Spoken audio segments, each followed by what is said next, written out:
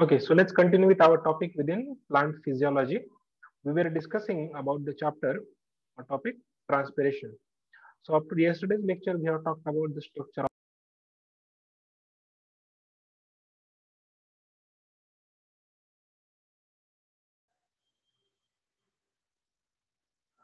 Okay, sorry for the interruption.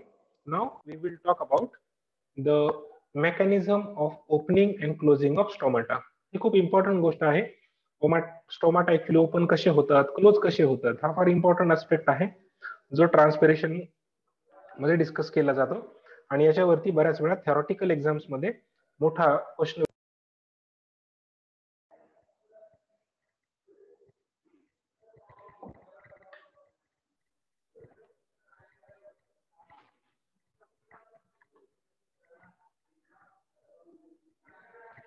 हा okay so internet कनेक्टिव्हिटीमुळे थोडासा जर अडचण येते. लेक्चरमध्ये मध्ये डिस्टर्ब होते. दोन मिनिटं वेट करा. आपण मी सगळं क्लिअर करतो. थांबा एक दोन मिनिटं.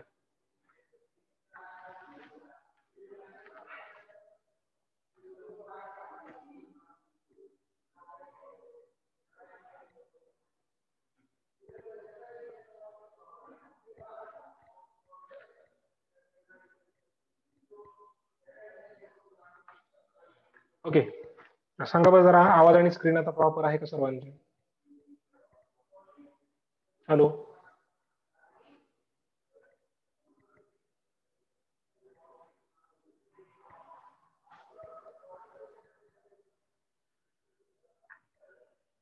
आवाज येतोय का?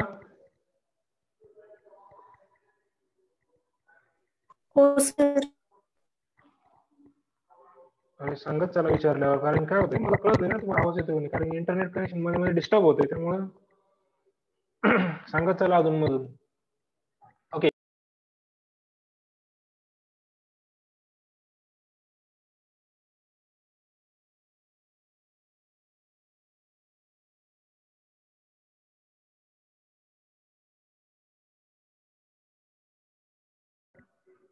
So let's start with our today's topic, mechanism of opening and closing of stomata.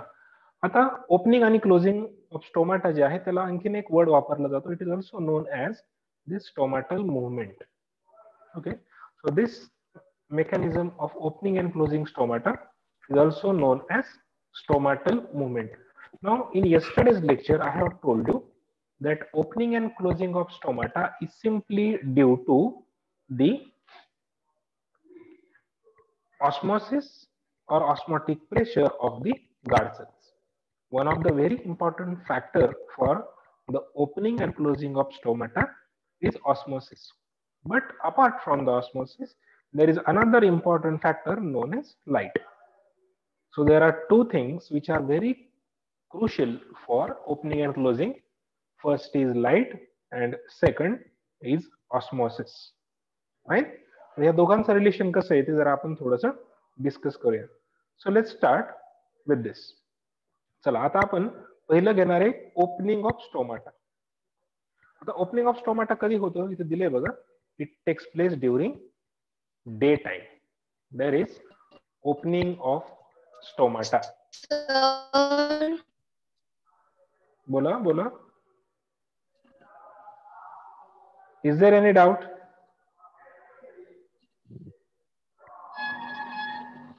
sir अर्धा असेल तर कळत नाही. सर. सुरुवातच नाही केली मी अजून बरं आवाज येतोय का? कट होतोय म्हणजे सांगा बरं.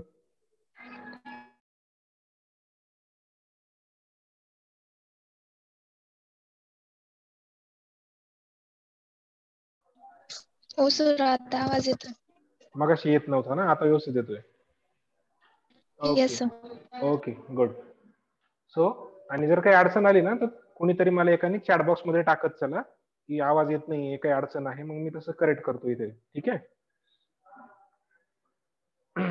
चला. आता बघा आपण opening and closing of stomata आज शिकणार आहोत. हा खूप इम्पॉर्टंट टॉपिक आहे. म्हणजे इथे गार्ड सेल्सची जी मुवमेंट होते due to in presence of light or due to osmosis that we are going to discuss ज्यामुळे स्टोमाटा ओपन किंवा क्लोज होतो So these things we are going to discuss in detail in mechanism of opening of stomata. Okay, so let's start with this. Now look, during daytime, what happens? You should be careful about this. What happens during daytime? Now, daytime la stomata generally open असतो. म्हणजे in most of the plants, you will find that during daytime, there is an opening of stomata. Stomata become open हे का होतं? आता ते आपण study करणार आहे. बघा. Initially during day time photosynthesis takes place in guard cells तुम्ही जर आपण कालचं मी तुम्हाला जर स्ट्रक्चर सांगितलं ते जर आठवत असेल तर आपण शिकलो होतो की गार्ड सेलमध्ये फुल ऑफ सायटोप्लाझम आहे क्लोरोप्लास्ट आहे त्याच्यामध्ये स्टार्च असतो. बरोबर? म्हणजे guard cells are able to perform photosynthesis हे बघा दिवसा जेव्हा लाइट अवेलेबल असतो डे टाइमला of course in presence of light photosynthesis होतो. बरोबर? आणि what is the product of photosynthesis can any tell me there is a formation of starch at the end of photosynthesis म्हणजे photosynthesis झाला की फोटोसिंथेसिसचं product काय असतं? There is a formation of starch clear नाव हे स्टार्चचं काय होतं? This starch is stored in the plastids of the guard cell म्हणजे whatever the starch form in photosynthesis is stored in the plastids of guard cells so yesterday we have discuss that guard cells consist of granules starch granules जे असतात त्याच्या फॉर्मॅटमध्ये starch हा guard सेल्समध्ये store केला जातो. आता स्टार्चची एक प्रॉपर्टी आहे. स्टार्च ऍक्च्युली हा पॉलिमर आहे. बरोबर? So it's a kind of polysaccharide made up of glucose but starch is insoluble in water बघा काय सांगतोय मी आता. स्टार्च हा वॉटरमध्ये इनसोल्युबल आहे. ओके म्हणजे वॉटर आणि स्टार्चचं नॉर्मल टेम्परेचरला सोल्युशन काही तयार होणार नाही त्या गार्ड सेल्समध्ये बरोबर? मग आता सोल्युशन जर तयारच नाही झालं तर तिथे ऑस्मॉसिस होण्याचा प्रश्नच येत नाही. बरोबर? म्हणून तर स्टार्सला ऑस्मॉलिटिकली इनऍक्टिव्ह म्हणतात. ओके? तो हे नीट समजून घ्या आता. पहिल्या स्लाइडवरती काय दिले कळतंय का तुम्हाला? चार पाच पॉईंट समजतायत का? सांगा बरं प्रत्येकाने व्यवस्थित मला. सगळे सगळे शांत बसलेत. मला कळत नाही नेमकं काय चाललंय तुमचं. Are you getting my point डोक्यावर चाललंय? सर परत एक्सप्लेन करा ना आपण. हो करतो मी व्यवस्थित एक्सप्लेन पण नेमकं तुम्हाला कुठपर्यंत कळले नाही तुम्ही काही बोलतच नाही. सगळेच्या सगळे शेवटपर्यंत शांत बसलेले असतं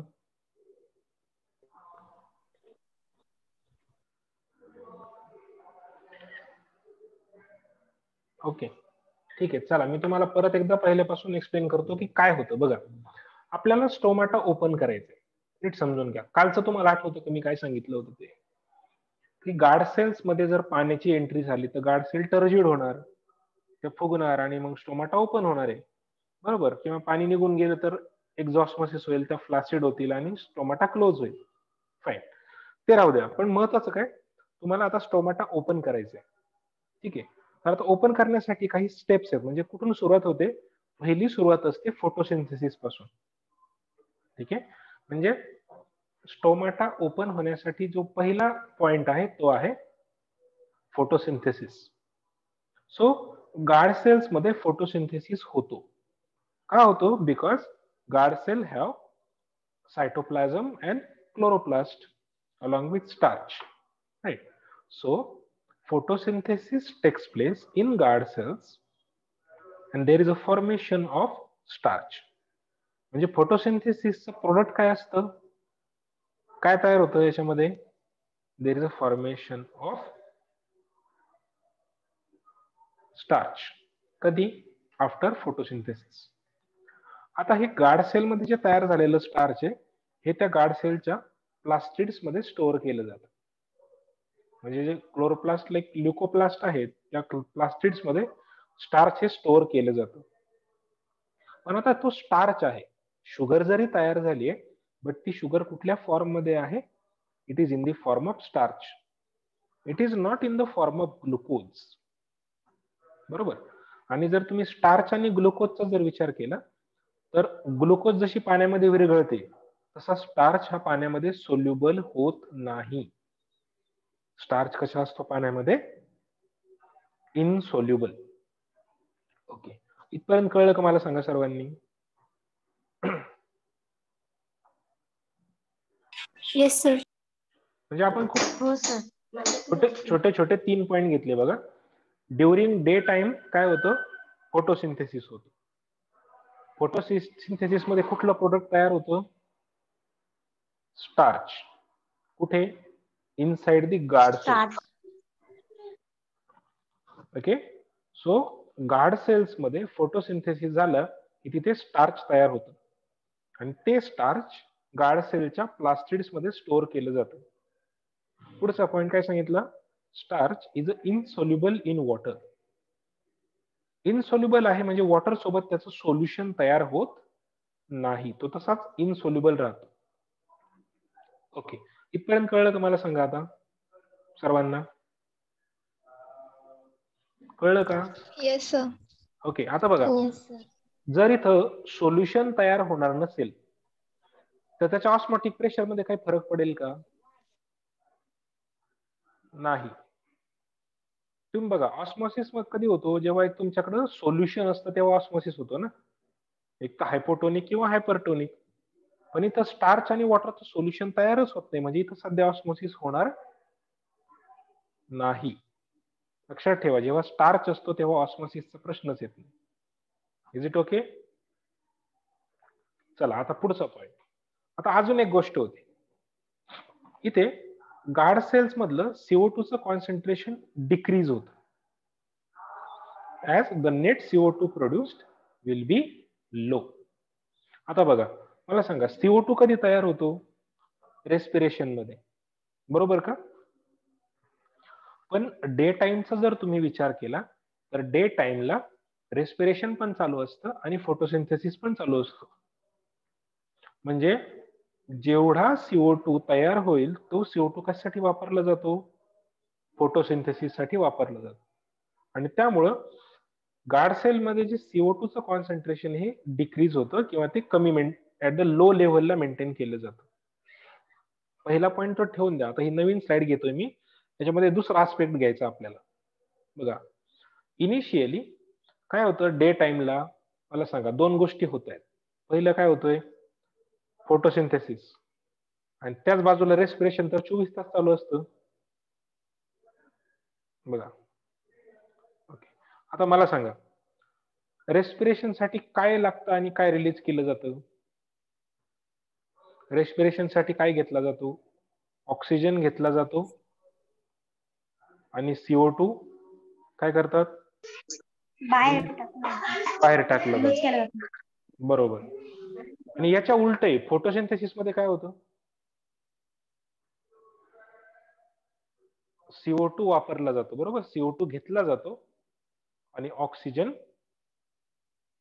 रिलीज केलं जातो. बरोबर का? मग आता डे टाइमला जर फोटोसिंथेसिस आणि रेस्पिरेशन दोन्ही एकाच वेळेस होत आहेत तर याचा अर्थ हे बघा रेस्पिरेशनमध्ये जो सीओ टू रिलीज होणार आहे तोच सीओ टू कशासाठी वापरला जाईल? कशासाठी वापरला जाईल? फोटोसिंथेसिससाठी कारण डे टाइमला फोटोसिंथेसिस पण होतोय ना? म्हणजे इथं रेस्पिरेशनमध्ये तयार झालेला सीओ टू जो आहे एक्स्ट्रा तो फोटोसिंथेसिससाठी वापरला जातो. समजा नाईट टाइम असेल तर काय होईल रे? काय वाटतं तुम्हाला?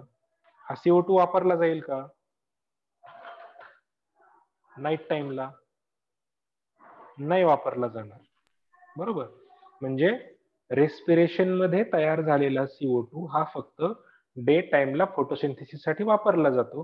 अँड दॅट्स वाय सीओ च जे कॉन्सन्ट्रेशन आहे गार्ड सेल्स मधलं ते डिक्रीज होतं. तुम्हाला नाईट टाइम घेतलं की जास्त ते आणखी क्लिअर होईल क्लोजिंगमध्ये जास्त समजेल. ओके आता बघा due to this low CO two concentration the pH of the guard cell is neutralized और इट इज स्लाइटली अल्कलाइन म्हणजे जेव्हा सीओ च कॉन्सन्ट्रेशन डिक्रीज होईल ऍट दॅट टाइम गार्ड सेलचा जो पीएच आहे तो किती असतो? It is 7.0 or sometimes it is slightly alkaline. That means slightly alkaline means 7.1, 7.2 like this. ठीक आहे. हे कशामुळे होतं? Due to low CO two concentration the pH of the guard cell is around seven point zero और it is slightly alkaline कारण की सेवन हा neutral pH आहे. थोडासा पुढे जातो like seven point one seven point two like this आता इथे एक इंटरेस्टिंग रोल आहे या पीएचचा जर पीएच हा सेवन पॉईंट झिरो किंवा थोडासा अल्कलाईन असेल तर ह्या पीएचला स्टार्चचं कन्व्हर्जन ग्लुकोजमध्ये होतं. Due to the activity of enzyme phosphorylase गार्सेल्समध्ये एक एन्झाईम आहे ज्याला म्हणतात phosphorylase the enzyme convert starch into glucose हे फार महत्वाचं आहे. ठीक आहे? या स्टार्चचं कन्व्हर्जन कशामध्ये होतं? ग्लुकोजमध्ये कशामुळे due to the pH which is nearly equal to neutral by the enzyme phosphorylase okay एवढंच समजलंय की मला सांगा आता सर्वांनी? कडोक्यावर चालले.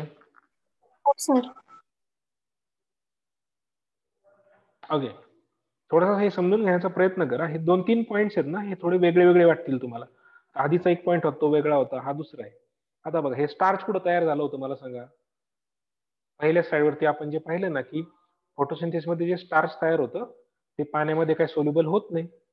बरोबर? पण आता त्याचं कन्व्हर्जन ग्लुकोजमध्ये केलं जाईल. आणि ग्लुकोजमध्ये कन्वर्जन करण्यासाठी कोणत्या दोन गोष्टी रिस्पॉन्सिबल आहेत? डिक्रीज झालेलं सीओ टू टूचं कॉन्सन्ट्रेशन आणि त्याच्यामुळे बदललेलं पीएच ठीक आहे?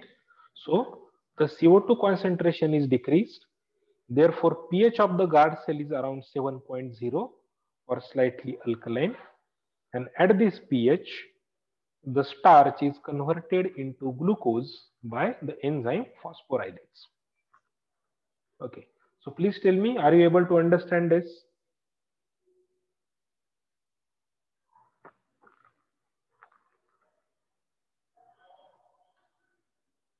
एवढं समजलं का सांगा बरं मला पटकन? चला क्विकली फार वेळ लावतो तुम्ही. ओके चला पुढच्या स्लाइडवरती आता घेतो तुम्हाला. चला. आता बघा. आपण पाहिलं होतं की स्टार्च हा इनसोल्युबल आहे. म्हणजे पाण्यामध्ये डिझॉल्व्ह होत नाही. पण आता स्टार्कचं कन्व्हर्जन कशामध्ये झालंय? It is converted into glucose and you know very well that glucose is soluble in water म्हणजे आता गार्ड सेल्समध्ये जेव्हा ग्लुकोज तयार होतो देअर फोर आता गार्ड सेल्समध्ये ग्लुकोजचं सोल्युशन तयार होतं. गार्ड सेल्समध्ये ग्लुकोजचं सोल्युशन तयार होतं. आता सोल्युशन तयार झालं म्हणजे ते सोल्युशन कुठलं असेल ते आता?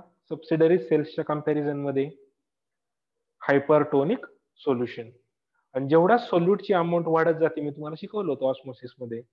जेवढा सोल्यूट जास्त असतो तेवढा त्याचा ऑस्मॉटिक प्रेशर हा इन्क्रीज होतो. बरोबर? म्हणजे as glucose is soluble in water the osmotic pressure of the guard cell is increase or it increases आता बघा.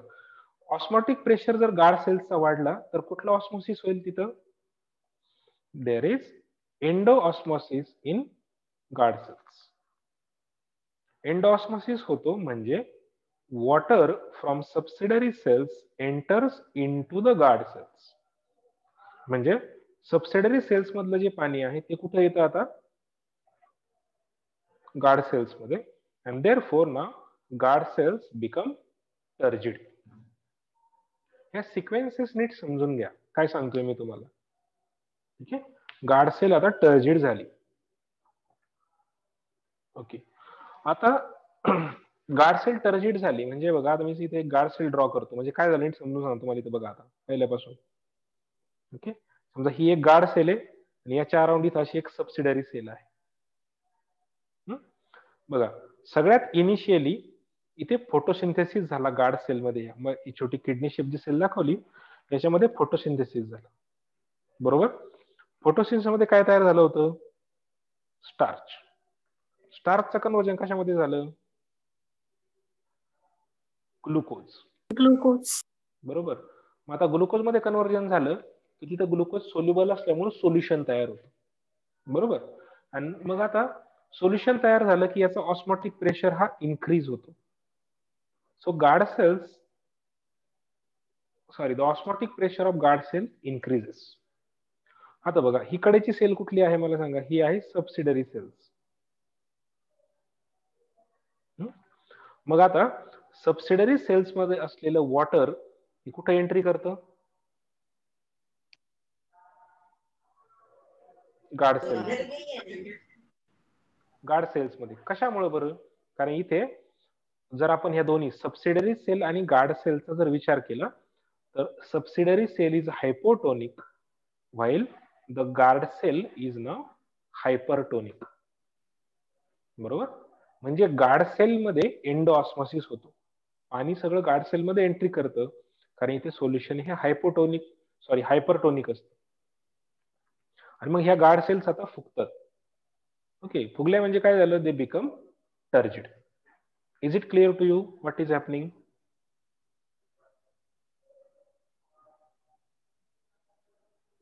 yes or no? Yes okay. Now next point. आता बघा. आता ही समजा ही एक गार्ड सेल जर मी घेतली ते याच्यामध्ये सगळं पाणी भरलंय तर मग याच्या वॉल वरती प्रेशर पडणार ना? जसं आपण काल पाहिलं होतं की बलून वरती जर आपण हवा भरली बलूनच्या वॉल वरती प्रेशर पडतो. एका सर्टन लिमिट पर्यंत. बरोबर? म्हणजे ह्या गार्ड सेल्सच्या वॉल्स वरती जो प्रेशर एक्झर्ट होतो त्याला कुठला प्रेशर म्हटलं जातं मग?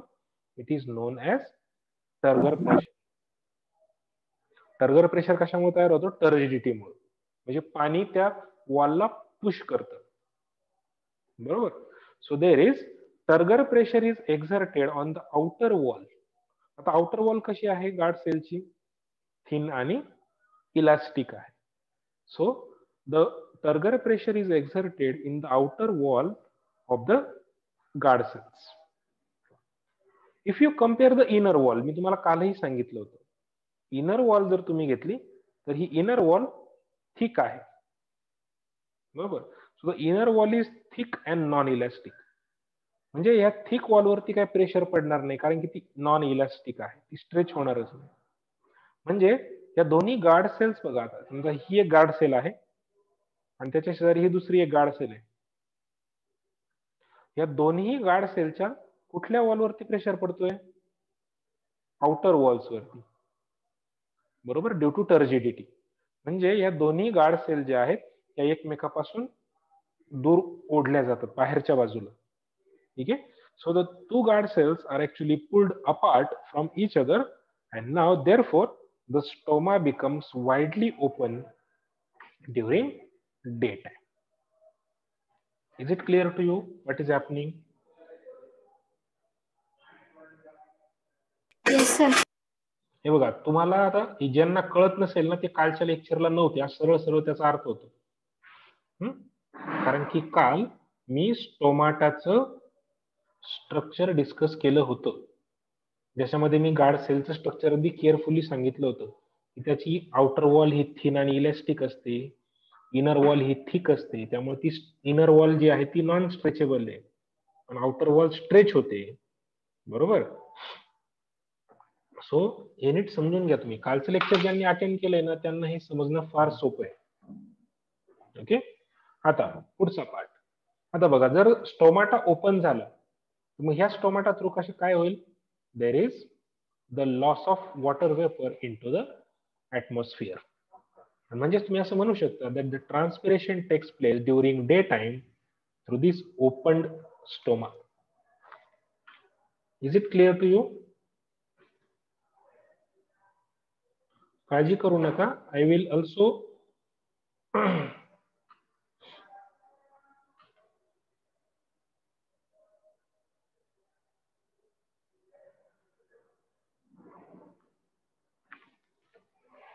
explain this once again to all of you okay चला आता हे परत एकदा मी पहिल्यापासून एक्सप्लेन करतो काय काय झालं नीट समजून घ्या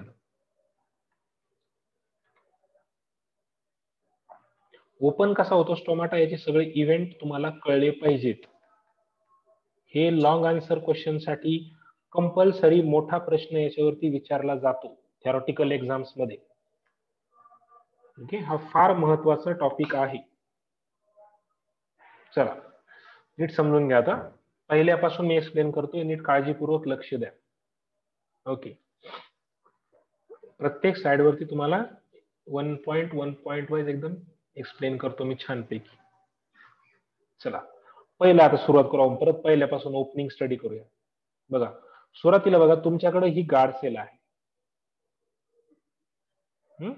नीट समजून घेतो पहिल्यापासून मी आता ड्रॉ करतो. हे आता स्टोमाटा हा क्लोज आहे. इनिशियलला आणि याच्या बाजूला अशा मोठ्या मोठ्या काय आहेत? कोणत्या सेल म्हणता याला तुम्ही? सबसिडरी सेल बरोबर. आता बघा. गार्ड सेल्समध्ये मी काल काय सांगितलं तुम्हाला? इथे गार्ड सेल्समध्ये सायटोप्लाझम असतो न्यूक्लियस असतो आणि खूप सारं क्लोरोप्लास्ट असतं. आता क्लोरोप्लास्ट आहे म्हणजे काय होणार तिथे?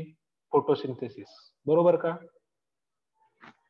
क्लोरोप्लास्ट आहे म्हणजे फोटोसिंथेसिस तिथे होणार मग आता डे टाइमला लाइट असतो खूप सारा बरोबर? मग डे टाइमला जर सनलाईट असेल तर तिथं काय होतो? गार्ड सेल्समध्ये काय होतंय? फोटोसिंथेसिस नीट समजून घ्या. सो गार्ड सेल्समध्ये फोटोसिंथेसिस होतो. आता फोटोसिंथेसिसच्या एंड प्रोडक्ट काय असतं? काय तयार होतं फोटोसिंथेसिसमध्ये? There is a formation there is a formation of starch okay हे कळलं का सर्वांना? आता सांगा. आता हे जे स्टार्च आहे म्हणजे या गार्ड सेल्समध्ये आता काय तयार होणार? खूप सारं स्टार्च तयार होणार. बरोबर का? जे स्टार्च ह्या गार्ड सेल्समध्ये ग्रॅन्युलच्या फॉर्मॅटमध्ये सगळीकडे असं स्टोअर केलं जात. पण स्टार्च हा इनसोल्युबल आहे. म्हणजे गार्ड सेल मध्ये जो सायटोप्लाझम असतो त्याच्यामध्ये स्टार्च सोल्युबलाइज होत नाही.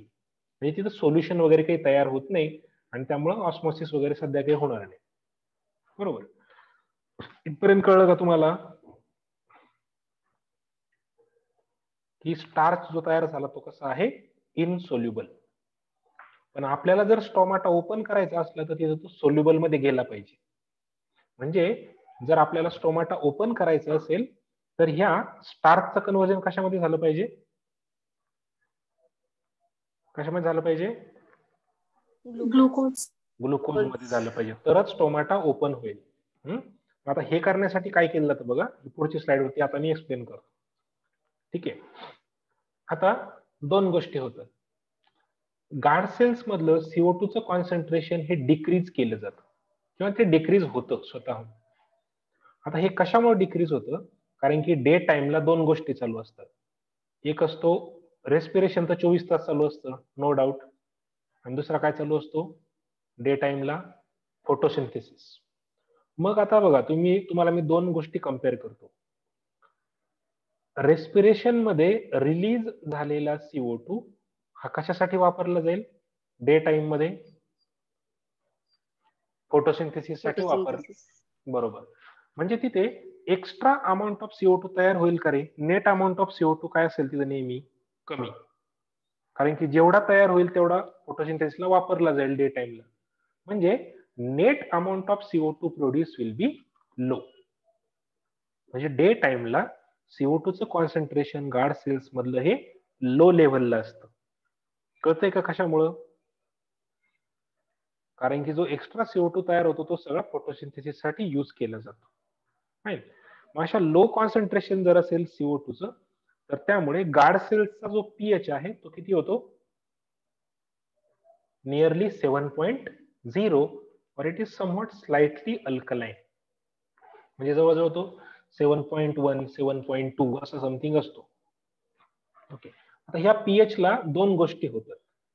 ह्या पीएच ला तिथे एक एन्झाईम आहे जो ऍक्टिव्हेट होतो ज्याला म्हटलं तर एन्झाईम फॉस्फोरायलेज बघा नीट समजून सांगतो मला गार्ड सेल्समध्ये एन्झाईम आहे नोन एज एन्झाईम फॉस्फोरायलेज आणि हा एन्झाईम काय करतो?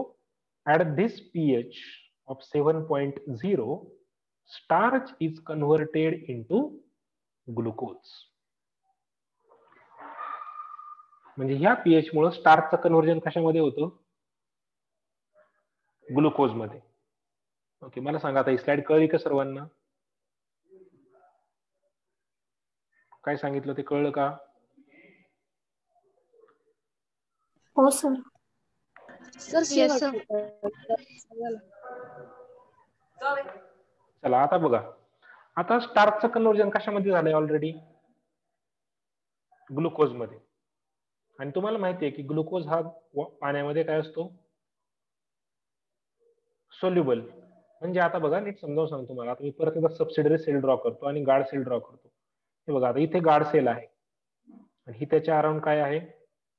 सबसिडरी सेल आता इथे स्टार्च नाही. इथं काय आता सध्या? काय तयार झालं आता इथे? ग्लुकोज. ग्लुकोज.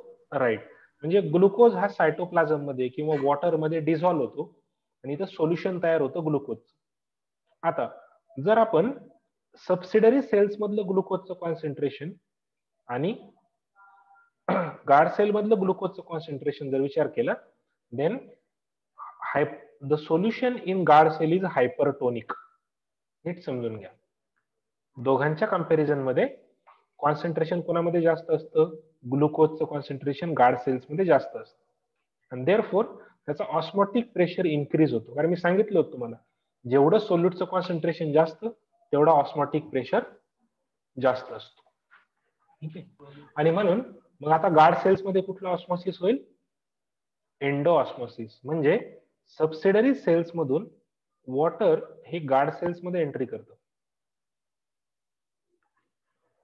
ठीक आहे म्हणजे इथे सबसिडरी सेल ही हायपोटोनिक असते आणि गार्ड सेल ही हायपरटोनिक असते with respect to the concentration and therefore the endosmosis takes place in guard cell that is the water from subsidiary cell enters into the guard cell and therefore guard cell become turgid guard cells हे turgid होतात.